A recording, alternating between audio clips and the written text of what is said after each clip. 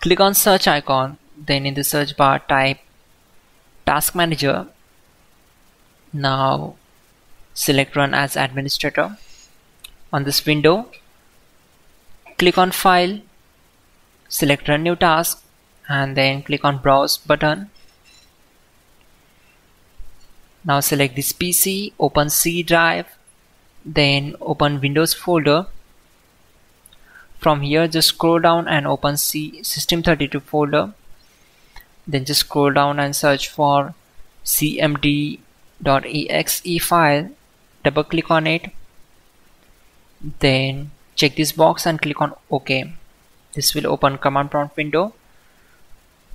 We already have the list of commands to make it easy for you. So we need to open Google Chrome then open google.com in the search bar type hows.tech windows commands and hit enter. From the search results click on this link which is from hows.tech now scroll down.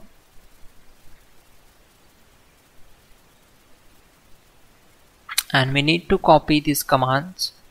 So copy command number 12 go to command prompt window simply right click on command prompt to paste that command and hit enter to execute it. Then copy command number 13 and right click and paste the command hit enter. Once done close the command prompt window.